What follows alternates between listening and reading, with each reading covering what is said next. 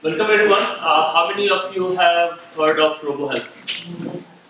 Okay, quite a few. Good. Uh, even if you have not heard of RoboHelp, there is a quite a bit of generic stuff, so I think uh, you'll be able to get something out of this session. Uh, RoboHelp 2019 release, that is the latest release, and it was released last year in uh, October, and uh, no, sorry, in August, sorry. And uh, in September, uh, here at the same session, I was presenting about uh, RoboHelp 2019.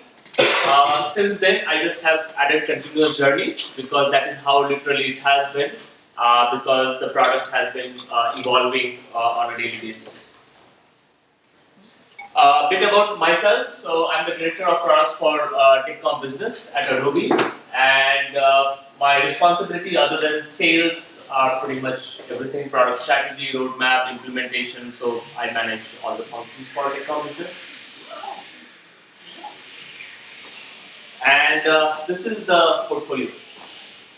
Uh, and mostly all these products we will talk about today if we have not uh, talked already. So FrameMaker, FrameMaker Publishing Server, uh, that is from the FrameMaker family, then RoboHelp, RoboHelp Server, and then Adobe Technical Communications Suite we have, TCS.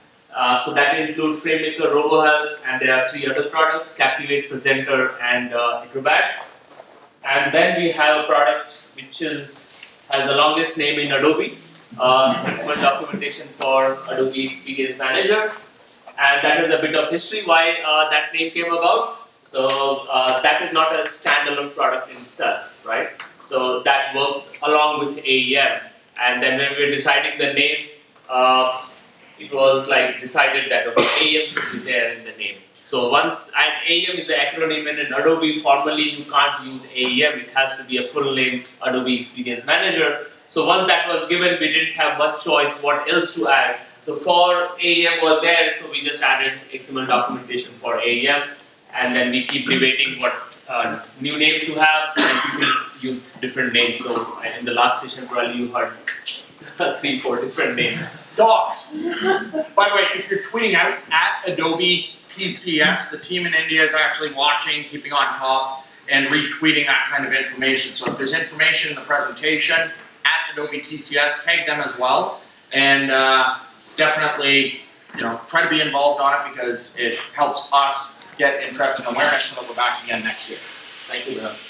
So uh, let me quickly cover uh, those two server products as well. So FrameMaker, FrameMaker Publishing Server, are you aware of what this is?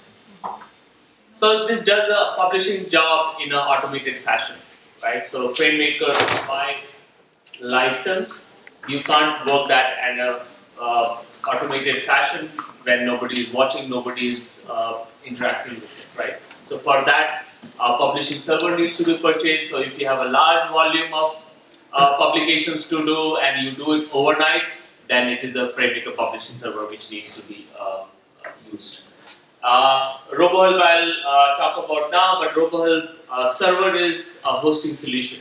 So if you have uh, corporate internet, you uh, generate content from RoboHelp and host it on RoboHelp server, and it does uh, analytics and few other functions automatically. So for example, if you have an HR and some other function, and in HR also you have some uh, person which is administrator, you want some certain guide for them, uh, not for others. So you can have a, a restricted access uh, those things very easily in RoboHelp uh, server.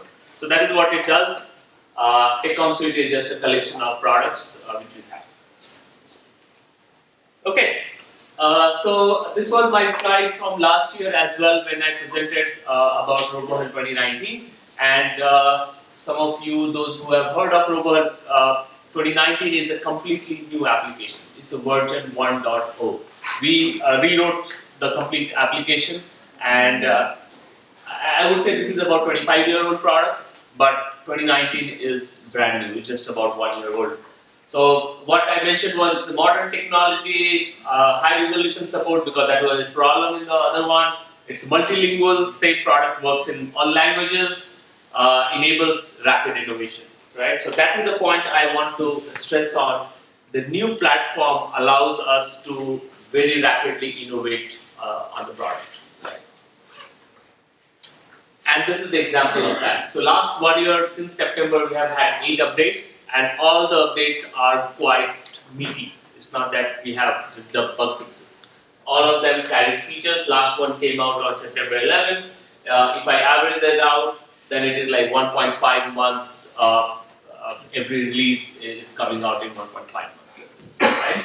And and that is what gives us the continuous innovation uh, on the product.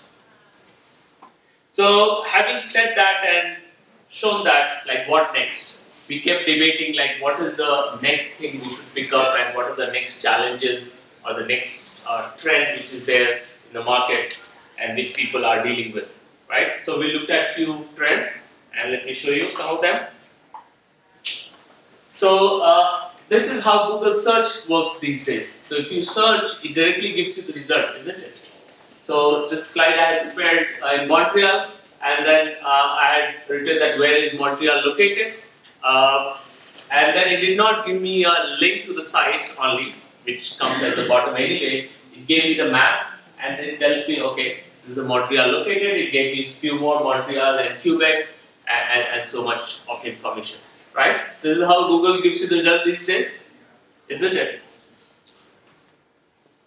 What is that called? That is called featured snippet, right? So, or Google snippet, what Google shows you.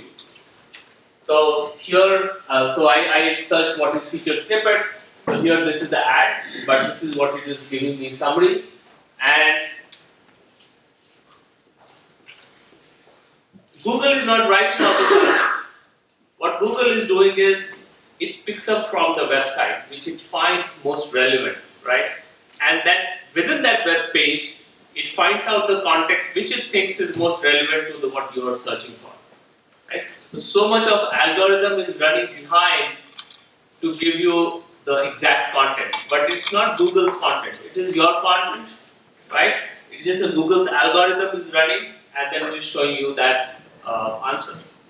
So Google doesn't stop there. What it does is it gives you a few more things people also ask, right? Nowadays it gives you a set of questions, whatever you have asked or searched, it keeps uh, giving you.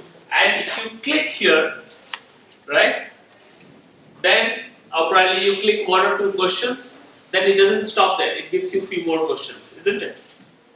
Right? And if you keep clicking, then it will give you a few more. It is learning on the fly. What is it doing? It is learning what questions you asked, right? It finds the relevance and then gives you a few more relevant questions related to that. Right? So that is how the world is moving and most of you probably and, and me included, we hardly now go to the pages, web page, you open that and then see what is written and then find your exact information where in that particular page what you are looking for is there. Right? So people are getting spoiled by this even for uh, let's say any uh, match is going on tennis oh who is winning what is the score live match it just tells you straight away gives you the result you don't have to go to website to look at that result it just gives you right there and there right so this is a big trend shift shift in the market people are looking at the information what they are looking for they want to get it right there right? They don't want to read the web page. They don't want to go through the information to look for what is there, right? If people don't find it, what do you do? They search the query so that it comes up right at the top. You don't go and look for in the pages, you change the search query. Okay, another trend. Any idea what this icon is? Which product? TikTok. TikTok. Yeah. So the younger generation they know. it's a it's a TikTok. TikTok. You know what that is? Which is it's a mobile app. It's a web platform, and it helps you create your showcase your talent basically.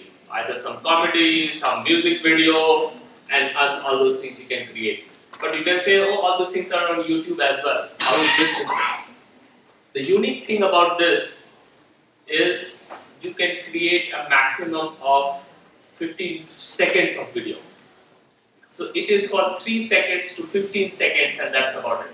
It's hugely popular. And especially where I come from in India, it's very, very popular.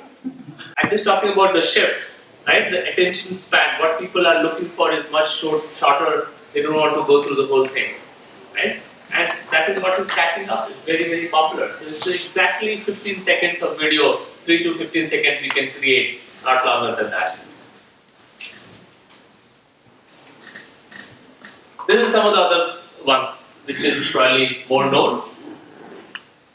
And Twitter, very, very popular. What do you do? It's a very small, 140 characters was there, now it's 280 characters. That is what kind of you can write over there. But still, it's, it's a meaningful information people share and it's very popular. Facebook, you write little longer. And blog is where you have leisurely written everything, full concept and from introduction to conclusion, which is like complete in itself, right? And then you read it also. so what I'm saying is, it's not that shifting from here to there. That is a new trend, right? And all have their own markets. Right? It's not that people use just this or that or that. That is a new one which has a new category and which is kind of becoming meaty more and more right? But it's not that people are not reading blogs or not writing blogs. They are doing that as well, of course, Facebook posts, right? But there is a shift in that, and all, all are required and necessary. So what is this doing? So uh, you can see that, and there are various studies that you would also have read how the tablet and mobile and all those things are making people have a lesser and lesser attention span. So it is reducing the attention span for everybody, right from the childhood, right? And people are becoming more impatient. They want everything quick, right then and there. Okay? So let's get that into TechCom space.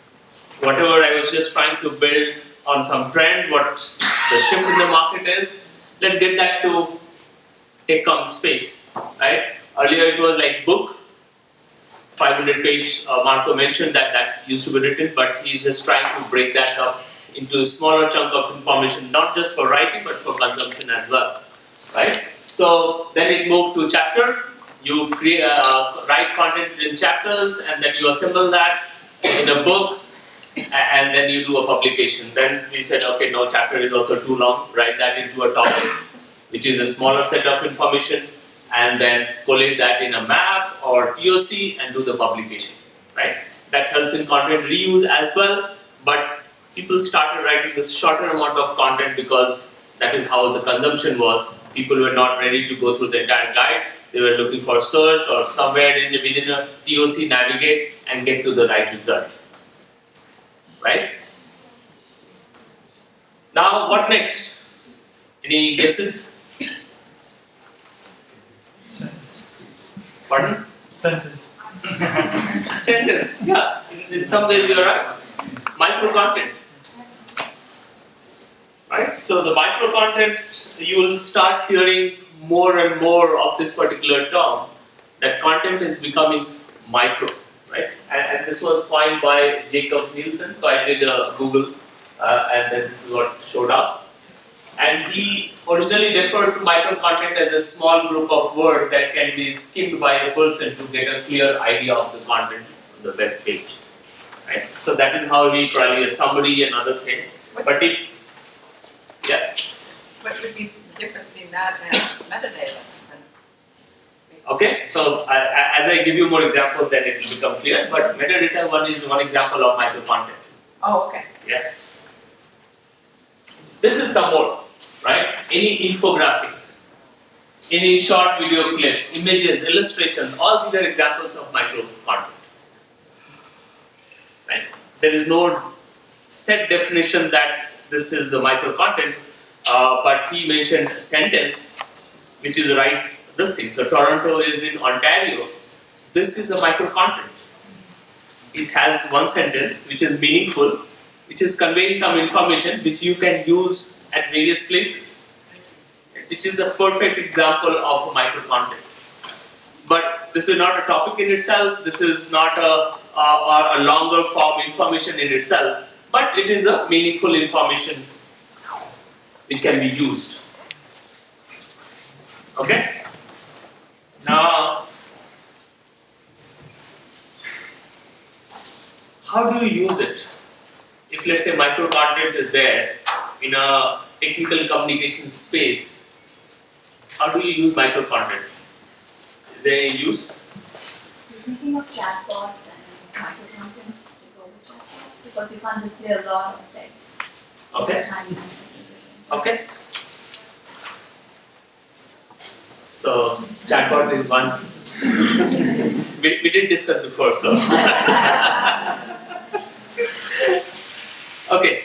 Any other example you can think of? Pardon? Help text. Okay. I have it below. But yes, definitely. When you're searching for content, like you want to get some more context. So when it's like micro content, like you have short descriptions included, like that Yeah. pulls up. featured snippet. I gave the example of Google, right? So in a search, you want that to show up as a micro content, the right result, right? Any other guesses or ideas? Uh, traffic light. Yeah, A traffic light is micro content. right? Traffic. traffic light. Okay, how do you use it? Conceptually. Yeah, it says green is go or red is stop. Yes. You can say that. No, but what I was asking is how do you use it? That is a micro content, I agree. right? How do you use it in, in, in the context of technical communication? Right? FAQ. You, once you create a FAQ, those are all micro content. They are not topic in itself.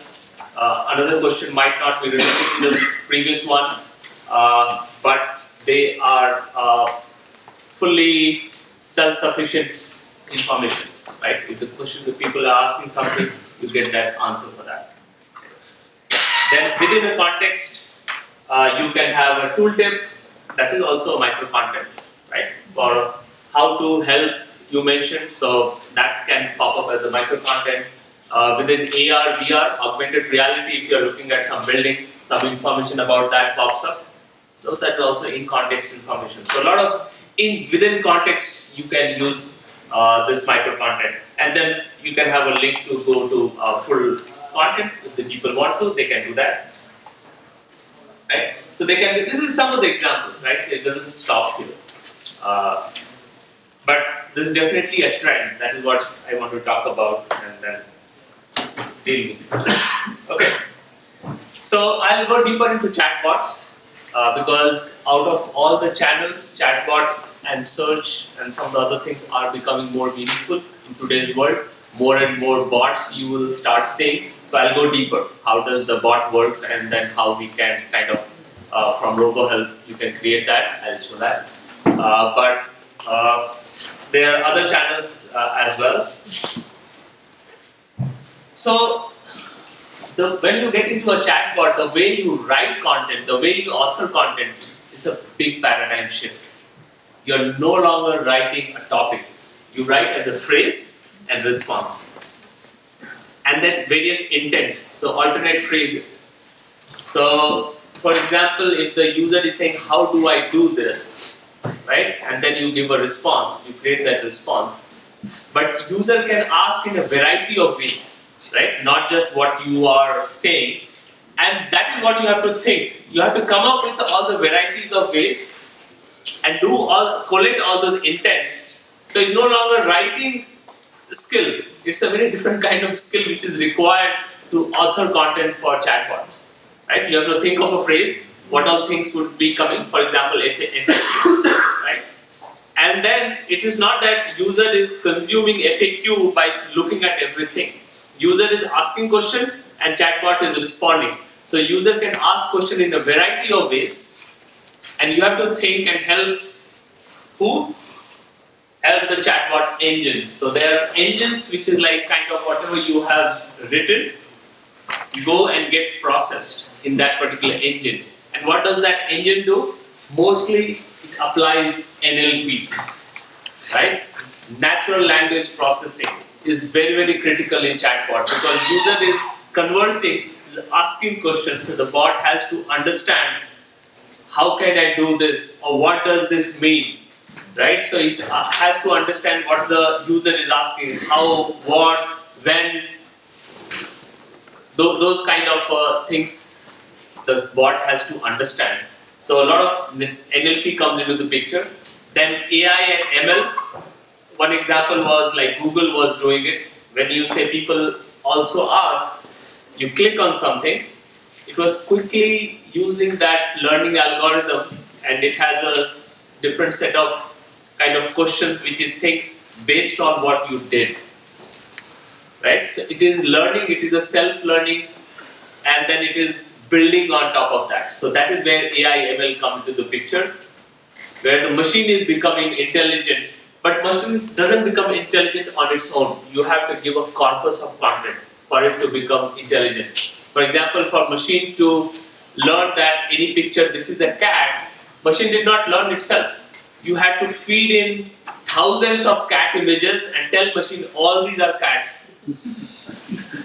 Right then machine started inferring that okay yeah this is also probably cat. It matches. And that also it says okay i am 80% certain that this is a cat. You have to give enough corpus of content or uh, alternate intent for machine to become intelligent.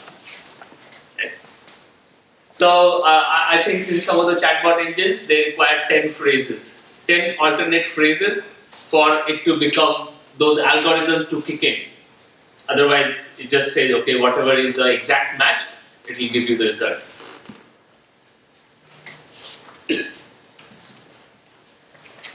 Then chatbot does all the processing and then it is not the front end. Then you have a chatbot front ends which is interacting with the end users. Can you give me example of very very popular front end many of you must be having at home Robots? Alexa? Alexa.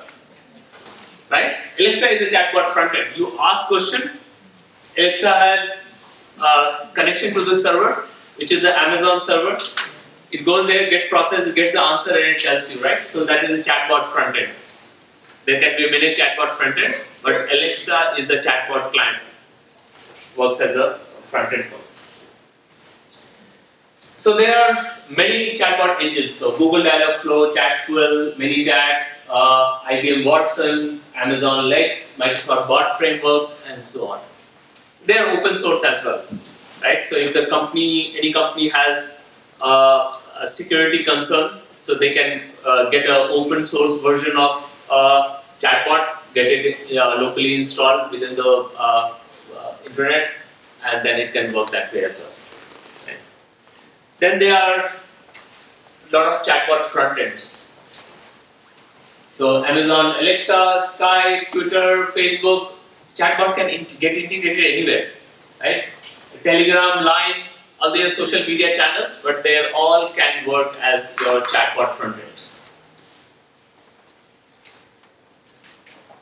And, and they can be more. Any questions so far? Okay, alright, we move on.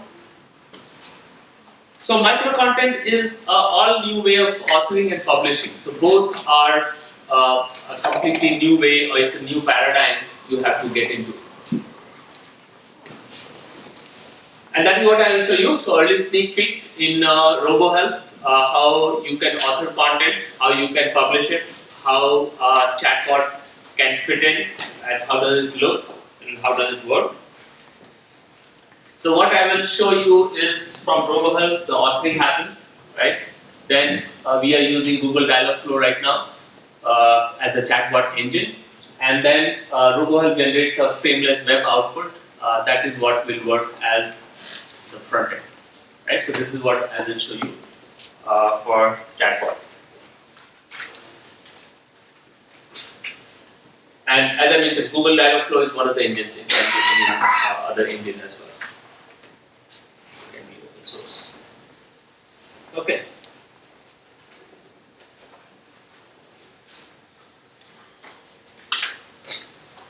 So this is uh, new RoboHelp. And I have already a project open, and that project uh, is the RoboHelp uh, reimagined, which we uh, ship as a sample. And on the left hand side, you will see all the various things you can author, right? And there are two tabs, author. So while authoring, it shows you this. And whatever you click, uh, the panel uh, on the right opens up for authoring, and then you author, and then it flow is from left to right. right? So we have added a micro content tab here. You can see that micro content. If I click on micro content,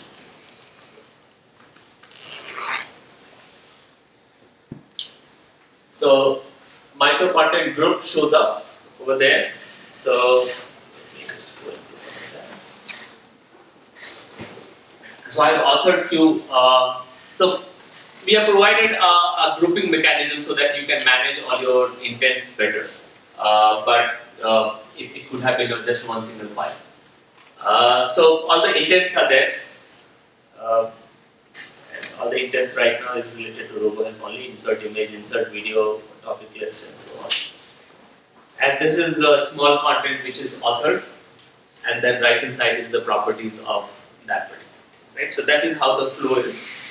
Now if I want to add a, a more intent for that, so on the right hand side if you see the intent properties come up and then I mention that intent as a task concept reference. So those are all metadata. So a lot of metadata, as much you can associate, the better. so uh, task is the type. There are like concept reference and other things we'll add there. So task concept reference. See that?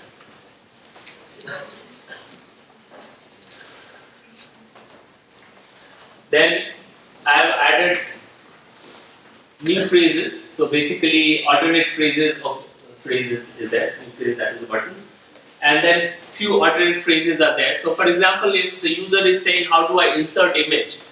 The your alternate phrases can be how the image add image or add graphic or add picture. All these are alternate phrases which you give that the chatbot engine will pick that up, right? So those are the examples. So for example, insert image we have here. Your alternate phrases are the like yeah, insert image, add image, add graphic, insert image in a topic, all those things, whatever you think is relevant for your content, you add that as a uh, alternate intent, and then there are keywords. So keywords work uh, help in a search, right? So you add keywords and so on, and that's what it. So once you uh, do that, uh, then we go to the publication side.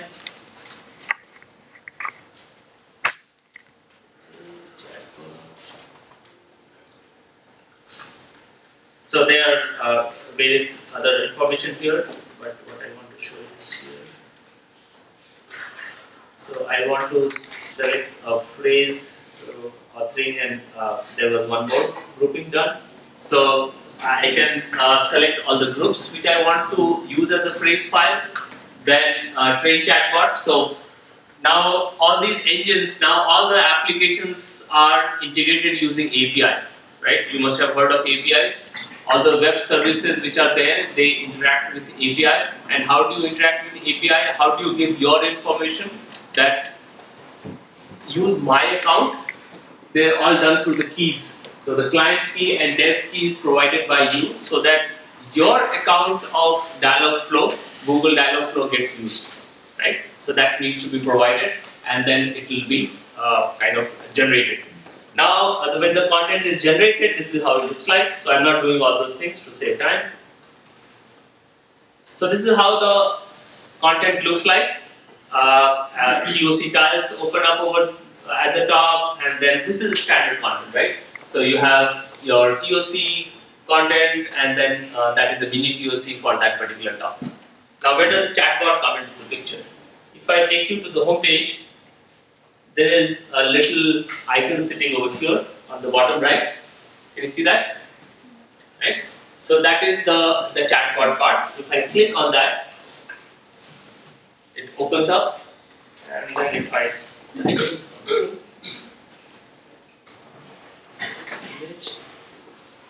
It shows me, so there is an interactivity now. So I said insert image, it added, I can say add image, probably same thing will show up.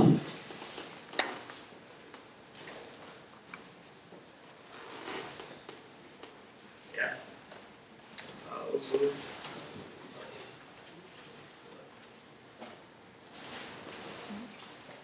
source. It, uh, we, we haven't done the job right, but if it is, it doesn't have the answers, it says that sorry, I can't answer this. Right? All these are coming from a chatbot. You can train all those things like how the intro can be. It says, okay, hi, how can I help you?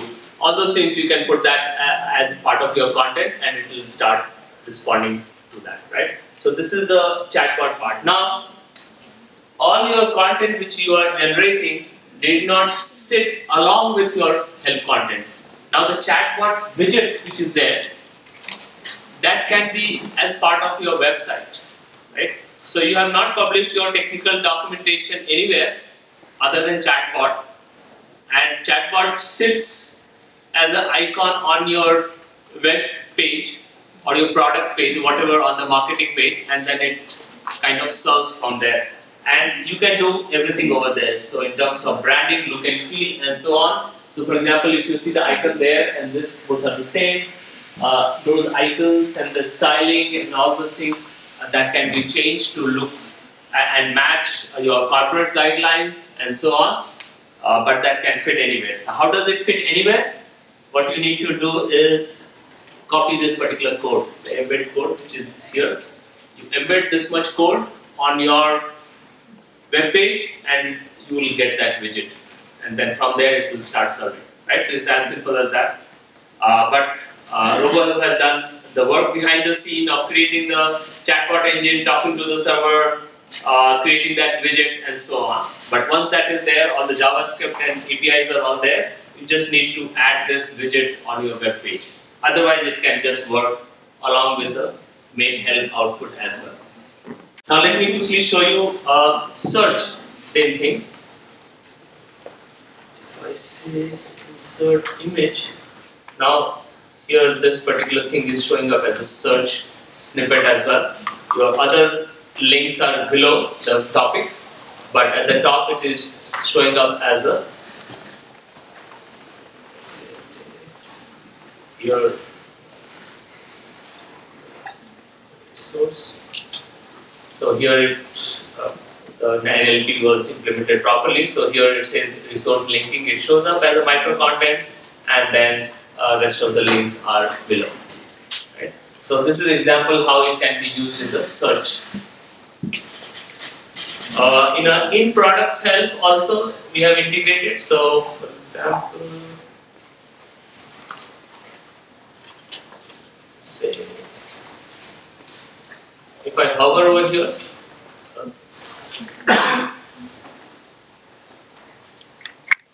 It just gives me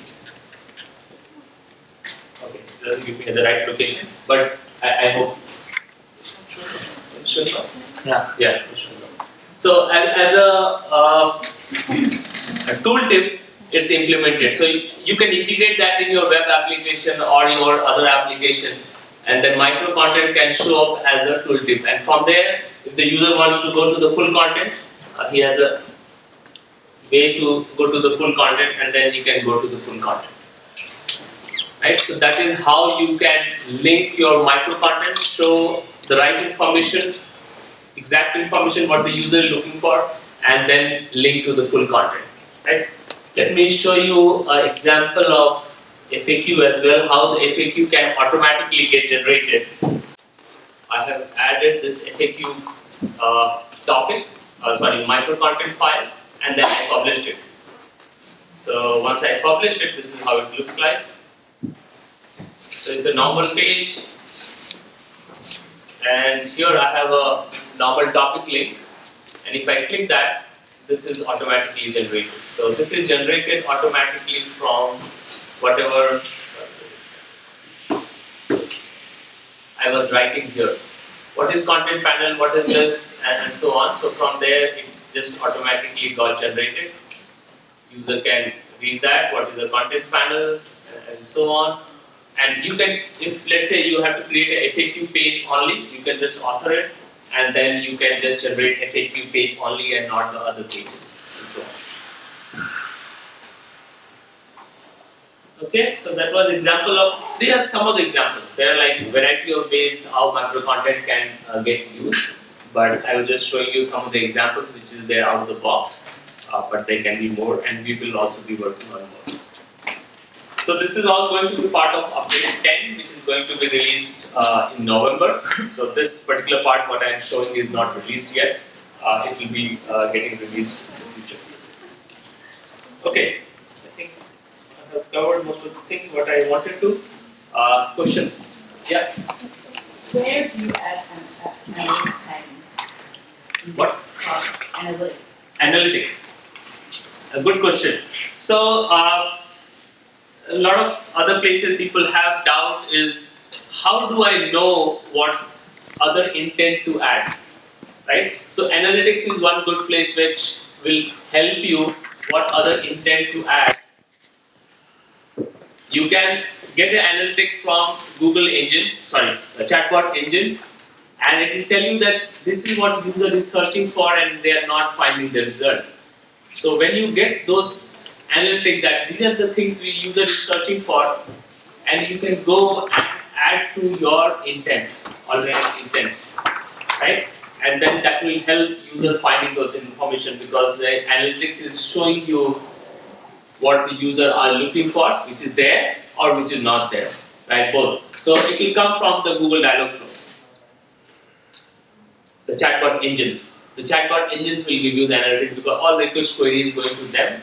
They are processing it and serving the result back. So then we need to feed that back into Adobe Analytics report suite product.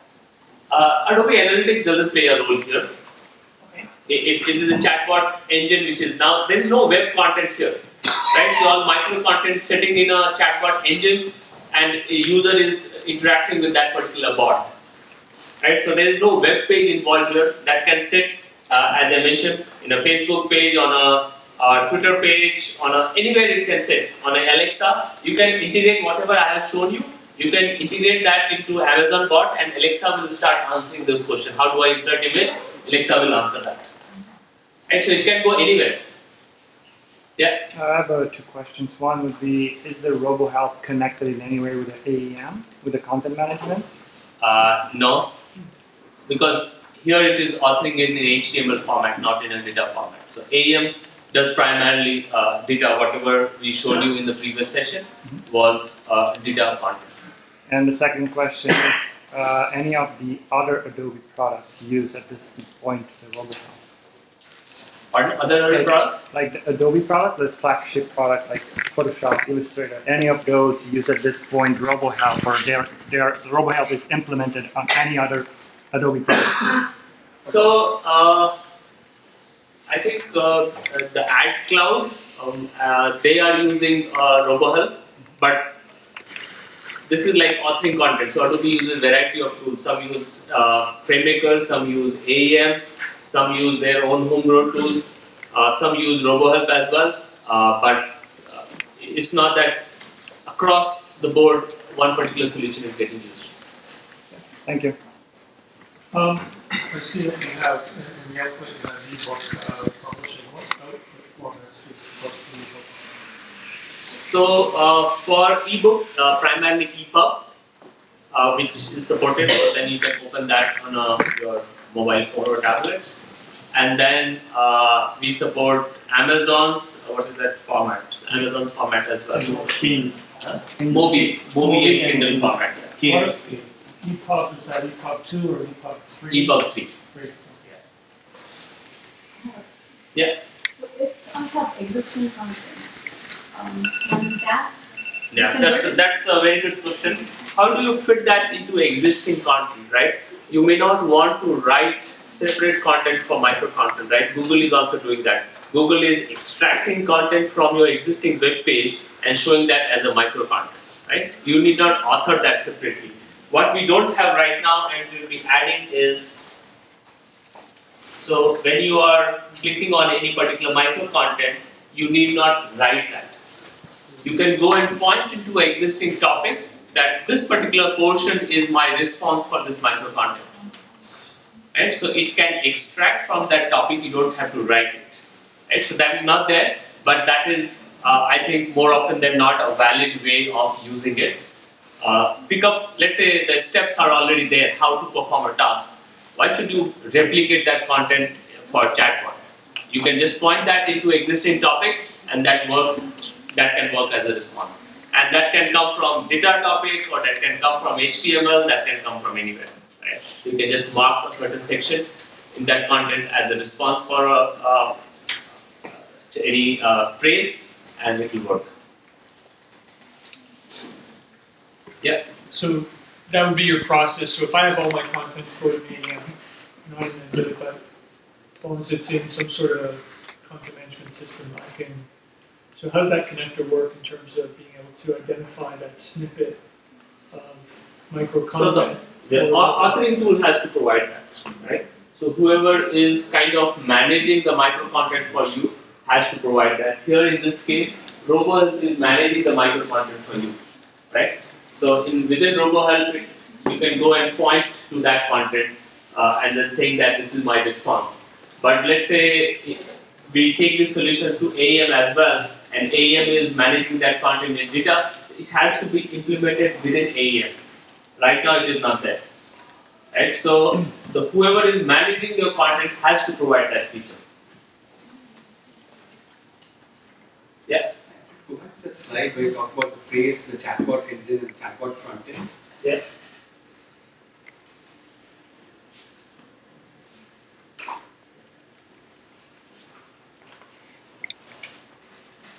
Yes. Um, it, it, it would be possible to link uh, RoboHelp to, say, Watson.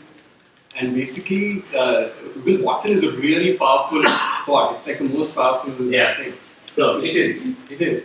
Yeah. So right now we don't have it. I, I just showed you. We are still uh, developing.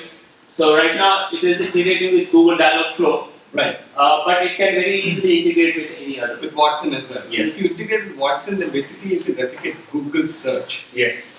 Right? You don't need to go to Google search. Yeah, and, and all these NLP, AI, ML, this particular thing which I mentioned, all the chatbot engine will be implementing they may have their strengths and weaknesses, right? So you can say that one chatbot engine is particularly working well for medical industry. Why that is working for medical industry? Because they have mastered the algorithm of AI, ML for that particular industry.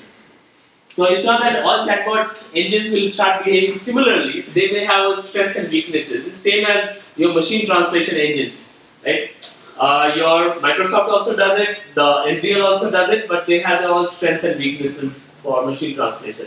So any of these machine intelligence you come into the picture, how they have trained, which uh, kind of content they have seen more, they will. And for the cat example, if let's say a machine is looking at the Asian cats example more, it will recognize the Asian cats very easily than probably the American cats. Right? Because it has been trained on that particular data. So machine is not intelligent. You have to make it intelligent. How you have made it intelligent, that makes a big difference.